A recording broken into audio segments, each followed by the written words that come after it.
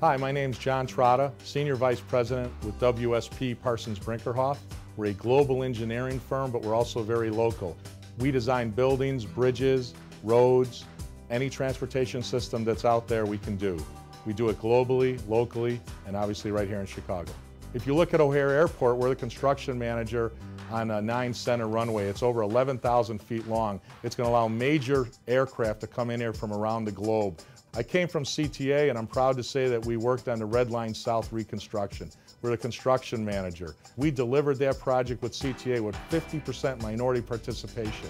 A lot of members of HACIA helped deliver that project, so we're proud of that fact, and we want to continue at that level of participation. Since coming into the private sector almost 11 years ago, I've worked closely with HACIA in developing mentor-protege programs that have allowed major firms like mine to work with small women and minority businesses to grow them. There's nothing more exciting than to see homegrown firms like GSG and Civcon grow from small to large firms and then being able to prime work. You know, winning this award personally to me means a tremendous amount. What it means to me is confirmation that we're doing the right thing, that we're helping other firms achieve the American dream, that bringing those small firms that bring great abilities. You know, no one's looking for a handout here. They're looking for an opportunity to work. We're proud of that, and that's what this means.